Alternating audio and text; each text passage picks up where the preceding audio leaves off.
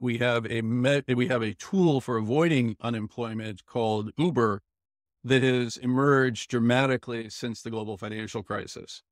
There's an incredible amount of uncertainty about how big this system is and how many people are employed in gig economy type jobs that effectively allow them not to apply for unemployment insurance, right? If you lose your job and you drove for Uber to make extra money and you continue to drive for Uber, well, guess what? You're not em- unemployed, right? You are ineligible for unemployment claims.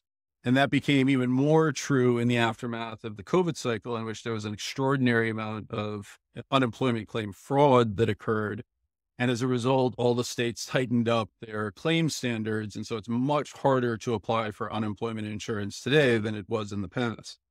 That means that the unemployment insurance data that we're getting is, in traditional terms, bunk, right? Yes, you lost your job. Yes, you are unemployed in every metric that you as an individual would think about.